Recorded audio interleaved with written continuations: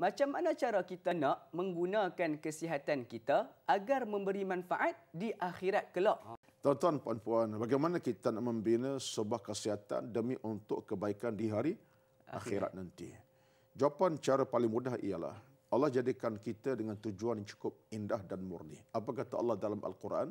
Dalam surah Az-Zariyat, وَمَا خَلَقْتُ الْجِنَّ وَالْإِنسَ إِلَّا لِيَعْبُدُونَ Aku ciptakan kamu sebagai manusia dan jin untuk mengabdikan di kepada aku. Baik, dalam konteks ibadah, kita perlu pada kekuatan fizikal. Nak solat, kalau fizikal tak kuat, tak solat kita.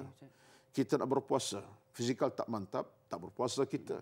Kita nak ke Mekah buat haji, fizikal tak kukuh mantap, tak sampai ke sana. Macam mana nak buat ibadah haji kalau kesihatan tak baik? Dan kita kena berwukuf, kita kena ber, ber, ber, ber, ber macam-macam. Jadi, kesemua itu boleh kesihatan. Jadi, makna dalam hubungan ini, dalam Islam, kaedah jelas sekali. Suatu Nabi bersabda, setelah dia yang Nabi kata apa? Irtanim khamsan qabla khamsin. Rebutlah lima perkara, belum lima yang lain. Salah satu kata Nabi, iaitulah sihataka qabla saqamik. Sihat kamu, belum kamu ditimpa penyakit dan sakit. Jadi maknanya, kalau kita nak ciptakan sebuah kehidupan yang baik di alam sana, kesihatan kita tolong juruskan kepada ibadat yang salihah, ibadat yang baik. Contohnya begini tuan-tuan, dengan makna mudahnya, kalau kita sihat, jagalah ibadat dengan agama. Siaplah kita solat baik-baik. Kita bukan solat saja solat wajib. Yang sunat pun. Dah kita ada kekuatan solat wajib Tuhan. Yang sunat dengan duha, dengan sembahyang tahajud, dengan sembahyang qabliyah. Kita tunaikan. Sebab kita sihat walafiat. Boleh bangkit, bangun, duduk, nak solat 20 rakaat pun tak apa.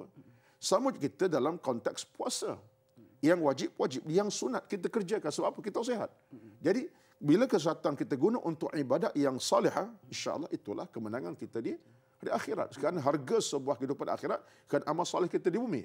Jadi orang yang sehat wajib guna kesehatan untuk tujuan-tujuan ke keimanan. Kalau tidak, itunya masalah guna kuasa. Allah beri mak sehat, kita abaikan solat. Kita sehat tapi tak berpuasa. Kita sehat tak buat kebaikan. Itu namanya salah guna kuasa. Itu merupakan amanah Allah kepada kita. Sehat itu amanah tuan-tuan. Kalau kita dah sakit demam sebagai contohnya, kita mula merasa aku ini kadang-kadang berlaku penyesalan. Tak sudah aku masa muda tak nak sembahyang, sihat. Dah tua baru nak solat, kena dalam melangkah tak boleh. Wheelchair. Jadi kita akan rasa menyesal, menyesal yang tak sudah-sudah. Siapa silap? Kita silap. Jadi orang yang bijak ialah orang yang guna kesihatan untuk kepentingan masa masa depan. Bukan takat tua di padang mahsyar nanti. Wallahu a'lam.